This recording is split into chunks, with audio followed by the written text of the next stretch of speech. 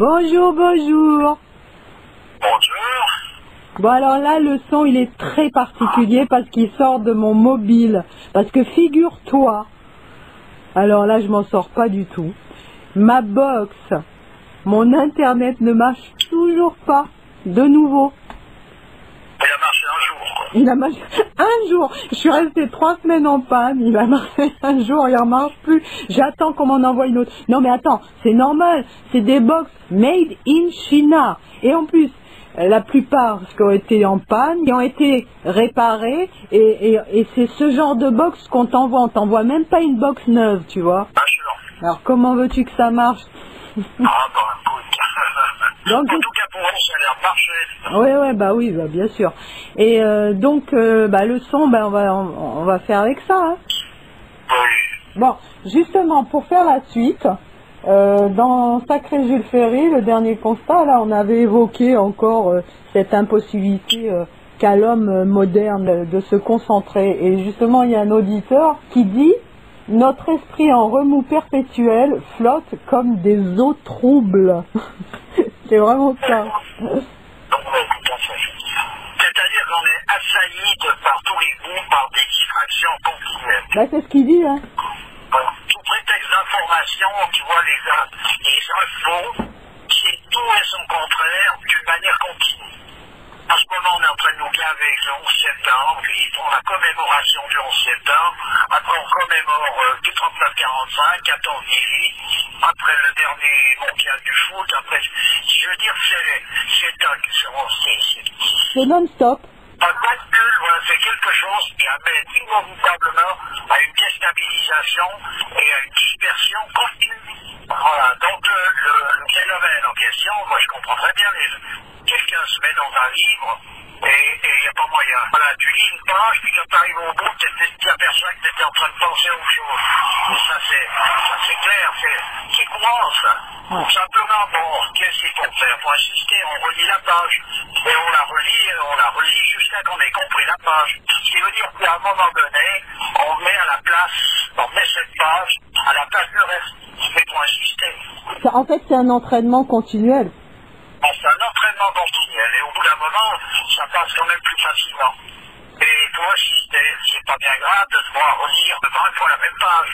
Parce que dans une page d'une écriture telle que par exemple des personnages comme euh, des noms euh, ou, ou- ou d'autres que j'ai déjà cités, euh, lire une page et la comprendre, c'est de l'or. Donc euh, on peut se permettre de prendre du temps pour ça, quitte à, à le répéter pendant trois jours, pendant une semaine, peu importe. Si au bout d'une semaine on a compris de quoi il s'agit, on a gagné quelque chose. En on n'est fait- pas en train de mettre une autre distraction à la place de celle qui était alors. On est, on est vraiment dans quelque chose qui a une ouverture. là. En fait, on a fait l'entraînement à l'envers. Voilà, c'est ça. On s'est entraîné à, la- à se disperser au lieu de entraîné à se concentrer. Ouais. C'est comme au sport, tu vois, le, le, le, le cerveau, c'est un muscle en fait. Il faut y aller doucement, petit à petit. euh, ça- tu, tu penses que ça revient quand même?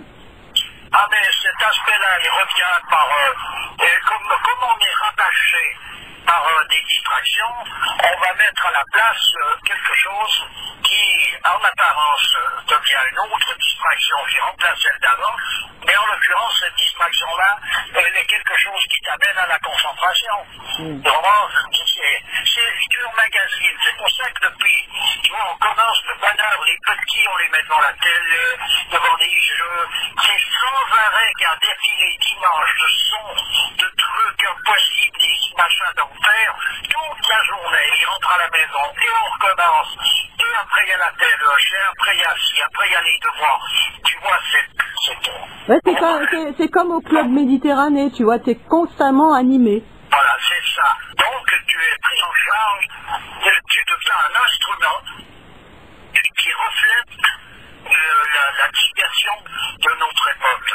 La concentration, c'est de, c'est de se concentrer sur soi.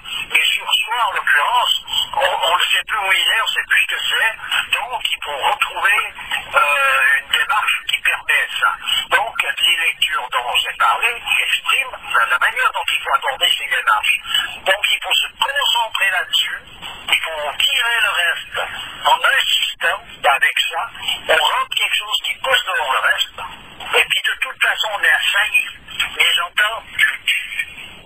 rattache en toi-même quelque chose qui, lui, va te libérer. Et en, même temps, euh, j'ai l'impression que l'homme, de toute manière, s'il n'est pas animé actuellement, euh, il se retrouve face à son vide intérieur et ça lui fait super peur. Ah, évidemment. Parce que c'est un vide euh, qui est, qui en même temps, euh, euh, il n'est pas vide euh, véritablement, il se retrouve devant l'angoisse, devant cette, euh, cette nostalgie, on pourrait dire, du paradis perdu, où il n'y a aucune apparence d'ouverture possible. Et tout est fait pour ça. Cette distraction, elle t'éloigne chaque fois un peu plus. Parce qu'il se rend compte qu'il est dans une impasse parce qu'il n'a pas les outils pour, pour y arriver, quoi. Ça le désespère, en fait rend même pas compte, il est dans une C'est-à-dire que quelqu'un qui est dans cette impasse, il est, il est dans l'angoisse. Elle prend n'importe quelle forme, mais c'est une angoisse. Et je dis, par exemple, M. Gion disait, ce qui caractérise l'homme actuel sur le plan spirituel, c'est sa profonde détresse. Oui, justement, c'est cette phrase qui me revenait en tête. Donc, euh, cette détresse, elle est due au fait que l'homme actuel se rend bien compte qu'il est dans une situation de non-retour, tu vois, il n'y il y arrive pas à revenir à la source. d'une certaine manière, oui. Les gens ne s'en rendent pas compte de, de, de, de façon explicite. Mais ce qui est bien spécifié aussi, c'est que pour, euh, pour compenser cette profonde détresse, il y a une déferlante de grâce qui submerge cette détresse. C'est la, la miséricorde qui dépasse la rigueur. Ça veut dire que l'espoir, il, il, est, il est présent, et c'est-à-dire qu'il a la, la possibilité est, on n'est pas dans une impasse totale.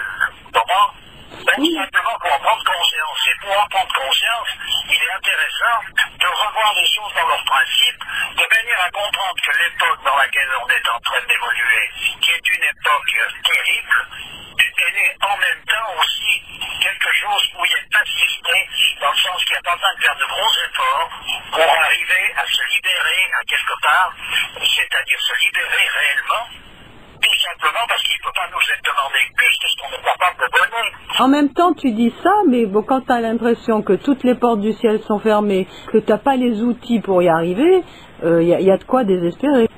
Mais t'as fait un bon pas maintenant, ça veut dire quoi? Ça veut dire qu'il faut se soumettre à la volonté de Dieu. Oui, oui, oui, voilà. Et cette humilité, en quelque sorte, toutes les religions, toutes les traditions euh, ont, ont bien insisté sur cette soumission, qui n'est pas une soumission péjorative, comme on l'a dans la vision actuelle des choses, c'est être soumis, ça veut dire être esclave.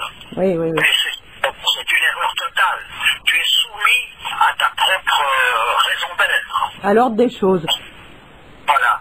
Tu es soumis à l'ordre des choses, c'est-à-dire que tu, tu es donc partie intégrante, tu n'as pas à lutter contre ta propre raison d'être. Tu comprends? Ce qui se produit actuellement, c'est qu'on apprend à lutter contre sa propre raison d'être, ce qui veut dire qu'on ignore de plus en plus, il endosse sur lui de factice. En fait, on apprend à, à- à nager euh, contre le courant, c'est pour ça qu'on s'épuise euh, pour rien en fait. Euh, Parce que le courant, de toute manière, il nous amènera irrémédiablement dans le sens où il, où il doit. Apprend à s'ignorer. Oui. Et simplement, ce que tu dis là, par rapport au courant, dans le sens où le courant va, actuellement, ce qu'il faut concevoir, c'est justement, il faut remonter le courant. Ah voilà. Puisque le courant t'amène dans une fausse direction. Parce que les gens, ils n'ont des bosses qui marchent pas. Et c'est des personnages, euh, et ils ont laissé des traces lumineuses. Ils dis- disaient en Chine, il y a deux sortes de poissons dans, le, le fleuve. Il y a ceux qui se laissent embarquer par le courant et ceux qui remontent. Oui, mais euh, moi je par... oui, je parlais du, courant de la vie, quoi, le courant, l'ordre des choses, c'est pour ça. Mais euh, oui, oui, je comprends ce que tu veux dire. Là, en fait, ce qu'il faut faire, faut arrêter de désirer, d'avoir envie d'eux, de... il faut se laisser, euh, pas, se laisser aller, euh, le je foutisme euh, qu'on qu'on connaît, se laisser aller dans le sens de l'acceptation. se concentrer sur des données qui, elles, t'amènent à pouvoir faire la démarche qui t'amène à une libération. Voilà. C'était ça l'école de Jean Riemann. Il ne l'a pas inventé, mais il l'avait revivifié. Et il avait revivifié cette école traditionnelle qui existe depuis que le monde est monde. Et dans l'Ordre d'Orient, c'était comme ça que ça se passait. Donc, euh, il a revivifié cette école qui t'amène vers la libération. Tandis que là, on est vers une dispersion. Donc il faut remonter le courant, ça veut dire se retourner de manière à aller en direction méditation, si pénible soit-elle, si pénible l'effort soit-il, euh, il, faut, il faut insister jusqu'à qu'il y ait quelque chose qui passe. Ouais. Et j'en reviens pour ces lectures, c'est-à-dire 100 fois la même, euh, la même page, peu importe. Insister. Comme il y a une insistance perpétuelle à nous distraire, il faut donc insister d'une manière continue pour se concentrer. Donc ce que tu nous rabâches finalement, c'est bon pour nous. Ben, écoute, c'est bon pour moi aussi, c'est-à-dire que si personne n'écoutait ce que je suis en train de dire, je continuerai de dire malgré tout, parce que pour moi c'est une répétition continue. En fait, c'est des mantras. Voilà, c'est-à-dire que je suis obligé de me concentrer pour pouvoir euh, être en, en accord avec ce que je, je suis en train de dire. Les mantras de.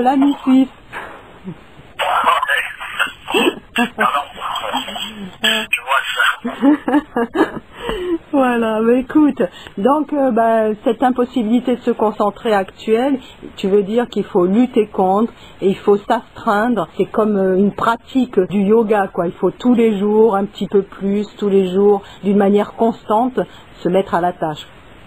Oui, puis on peut prendre toutes les images, hein. c'est comme les gamins quand ils veulent du chocolat. Maman, je veux un bout de chocolat, tu peux lui dire n'importe quoi, il répète tout le temps, maman, je veux du chocolat. Et ben là, en l'occurrence, euh, maman, euh, je, veux, je veux trouver la, la solution. Donc, euh, trouver cette solution, puisqu'il faut se mettre à, à se pencher sur une lecture qui permet de trouver cette solution, ben, il faut se pencher jusqu'à ce qu'elle soit digérée. Ouais. Vois T'as pas une solution, je vois pas comment on peut faire autre- autrement. Allez, qu'est-ce que tu veux faire? Il n'y a pas de médicament qui te permet de te concentrer. Tu peux diminuer l'agitation mentale avec euh, des, des, des, des plantes, des fleurs, qui, comme la passiflore, qui va te permettre de, de calmer l'agitation mentale et qui permet à des gens de, de s'endormir au lieu de continuer de tourner en rond dans leur tête. Bon, tout ça, et c'est plein de petites choses comme ça. Mais j'entends, il y a, il y a- il y a une démarche personnelle qui, qui consiste à, à chercher absolument à se concentrer, c'est-à-dire à vouloir se concentrer. Moi, la seule chose qui peut nous aider, j'ai l'impression, c'est vraiment la constance. Il faut y aller tous les jours, un petit peu. Pas, c'est pas la peine de faire, euh, euh, de, mettre euh, le paquet, parce qu'au bout d'un moment, on, se décourage. Mais tous les jours, un petit peu, c'est comme au sport. Tu vois, vaut mieux faire 10 minutes par jour que 3 heures une fois par semaine. La constance, c'est le truc. Ah, c'est ça. Ben, D'ailleurs, dans les religions, il y a des prières journalières. Il y, a, il y a une de, de cinq prières journalières. Par exemple, tu cours, cours, tu stoppes, c'est le moment de la prière où tu es dans une concentration. Donc, c'est une répétition journalière. Que tu sois en pleine action dans un champ, en train de cultiver des légumes ou que tu sois dans un autre travail, tu es dans ce moment-là parce que c'est, c'est- ça t'oblige à, à te reconcentrer dans, dans ta posture originelle. Voilà. C'est pas pour caresser le bon Dieu dans le sens du tel, compris. Pour euh, contrecarrer euh, le mouvement de Kali-Yugesque, on va dire. Ouais, bon, et puis c'est pour contrecarrer, c'est-à-dire c'est pour.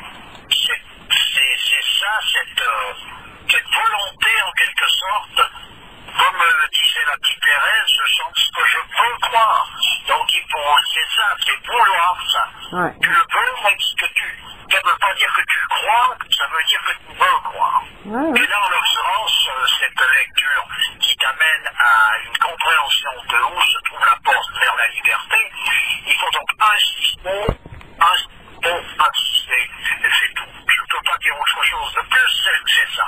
Bon, on veut pouvoir se concentrer pour pouvoir faire rentrer euh, des choses valables dans nos esprits. Pas, pas décourager parce que c'est décourageant. Ah oui. Moi, tu sais, je, je sais très bien que je passe par les mêmes choses que n'importe qui. C'est-à-dire que je peux me retrouver d'un coup dans des moments où je, je- je peux, je, je peux lire n'importe quoi. De toute façon, je pars dans, le, dans, dans, une, dans, dans un mirage. Je, je la connais, l'histoire. Mm. Et tu vois, euh, le, personnage comme Thérèse en en a parlé, à un moment donné, elle est, arrivée où elle ne croyait plus en rien. Elle ne voyait plus Dieu nulle part. Pour elle, c'est, comme si tout ça n'existait pas. Simplement, elle continuait comme si c'était vrai. Ouais, ouais, ouais, je comprends. Et au-delà de cette espèce de, de croyance et de volonté euh, humaine, il faut être dans le aller au-delà, c'est-à-dire dans le supra-humain. Voilà. Ok, ben écoute, on va s'arrêter là. Oui. Je te remercie de nouveau et puis je te souhaite une bonne journée et puis à très bientôt. Ben, merci, pareillement, c'est toujours avec plaisir. Au revoir.